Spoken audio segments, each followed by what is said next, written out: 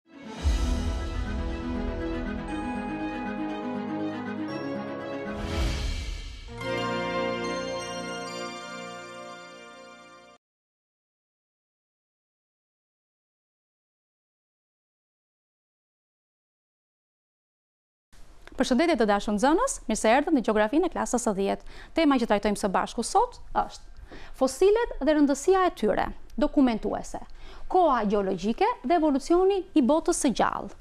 Ndër çështjet kryesore të temës së sotme do të trajtojmë, Kuptimi mbi fosilet, procesi i fosilizimit, Përcaktimi i moshës gjeologjike të Tokës, Evolucioni gjeologjik dhe organik i Tokës. Pa humbur kohë, fillojmë me çështjen e parë.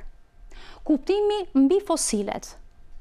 Fjala fosil vjen nga latinishtja që do të thotë mbetje. Dëshmi të jetës së kaluar, të ruajtura në shkëmbinj, quhen fosile. Një fosil është pjesë e mbetur, mund të jetë guaskë, kockë, dhëmbë, fara, gjethe. Por, mund të jetë edhe një formë e thjeshtë kafshe apo bime. e ruajtur në shkëmbinj sedimentar ndër kohëra gjeologjike të formimit të tokës. Fosilizim quhet procesi që çon në formimin e fosileve. Paleontologët studiojnë fosilet dhe shkëmbinjtë, sepse fosilet e proceset e fosilizimit studiohen nga disiplina e paleontologjisë. Për të krijuar një panoramë të qartë, paleontologët studiojnë të gjitha këto fosile, se si ka qenë jeta e dikurshme. tiparet klimatike, mjediset e të shkuarës, për të përcaktuar moshën e shtresave të ndryshme gjeologjike, si edhe për të lidhur hallkat e historisë së planetit tonë Tokë. Procesi i fosilizimit. Sedimentet, që formojnë shkëmbinjtë sedimentarë, fusin në brendësi të tyre mbetje organizmash. Sedimentet forcohen, ngurtësohen dhe depozitohen në shtresa horizontale. Shtresat e reja të vendosura ushtrojnë trysni në shtresat e vjetra, duke i ngjeshur ato, këto fosile. Procesi i mineralizimit është procesi që shpegon krijimin e fosileve. Bën të mundur që në poret dhe zgavrat që ishin prezente enët e gjakut, nervat, indet e buta e të tjerë, të hyjnë substanca minerale, duke mbushur skeletet e mbetura. Gjatë mineralizimit, skeleti dhe guaskat nuk e ndryshojnë përbërjen e tyre, por bëhen më të forta dhe më të qëndrueshme.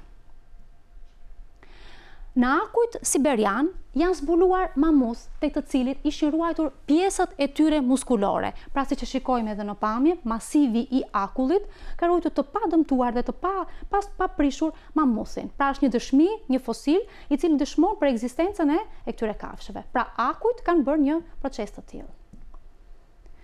Organizmat fosilë mund të ruhen edhe në formën e gjurmëve, të cilat janë shenja, fakte të aktivitetit të një gjallese, mund të jetë një strofull, gjurmë këmbësh, mbetje ushqimore, e të tjera. Kur rëshira e pemëve ngurtësohet, insektet e ngecura aty ruhen zakonisht në gjendje të përsosur. Konkretisht, këtu kemi një milingon që është ngurtësuar në rëshirën e pemëve, pasi ka ngecur në rëshirën e pemëve dhe është ruajtur shumë mirë si fosil. Shumë fosile gjenden në shkëmbinj sedimentarë, rrallë në shkëmbinjtë metamorfikë dhe aspak në shkëmbinjtë magmatikë. Konkretisht këtu kemi procesin e fosilizimit të një peshku. Kjo është faza e parë. Një peshk shkon dhe jeton në det. Kur peshku ngordh, bie në fund të të detit. Fillon të grumbullohen mbi të sedimentet, fillon procesi i ngjeshjes derisa na del fosili i i peshkut. Pra gjurmë shumë të bukura të të së kaluarës. Përcoktimi i moshës gjeologjike të Tokës. Planeti ynë, Toka, ka përjetuar një evolucion të larmishëm qysh në krijimin e tij. Pra, fazë pas faze, deri në kohën e sotme, Toka ka përcaktuar dhe ka jetuar një proces të të gjatë evolucioni. Ndryshimet e vazhdueshme kanë transformuar jo vetëm shtresat gjeologjike, por dhe të gjithë jetën e gjallesave në të. Në gjeologji, për moshën e Tokës përdoret moshë absolute dhe moshë relative. Mosha absolute tregon se sa e vjetër është Toka.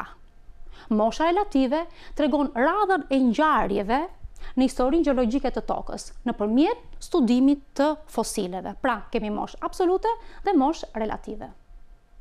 Sipas të dhënave të fosileve, pra fosilet na japin një ndihmesë shumë të madhe, historia e Tokës është e ndarë në disa njësi kohore të mëdha, të cilat quhen era dhe periudha.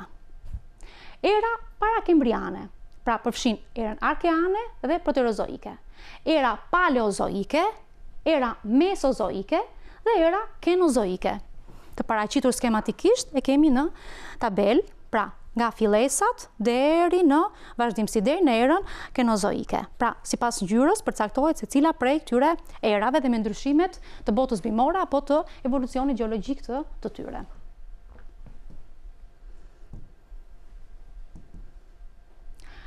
Era arkeane dhe proterozoike. Nga gjetjet e pakta evidentohet se bota e gjallë, organike, ka qenë në nivele primitive, organizmash të gjalla shumëqelizore, ndërsa për sa i përket zhvillimit gjeologjik, ka pasur veprimtari të fuqishme vullkanike. Një erë tjetër, era paleozoike, Në këtë erë, në periudhat shumë të hershme, bota e gjallë përfaqësohej kryesisht nga një botë shtazore pothuajse detare, ndërsa më vonë u zhvillua dhe bota bimore tokësore paralelisht me botën shtazore tokësore.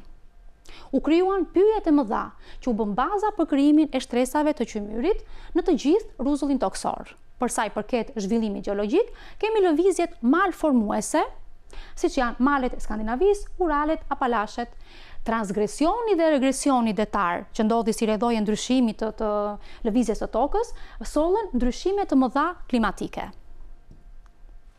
Era Mesozoike Në këtë erë, bota organike u zhvillua në zvaranikë dhe shpendët e parë, Dominoi kryesisht procesi i sedimentimit.